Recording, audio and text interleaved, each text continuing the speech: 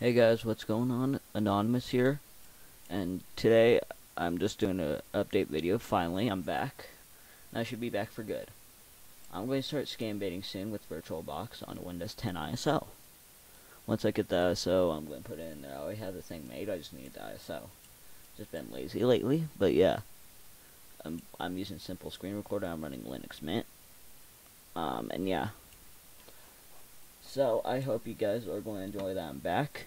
And I'll also try to do some Minecraft videos. I, need a new CPU, and I'll hopefully maybe try live stream. I'm not sure if you can on Linux.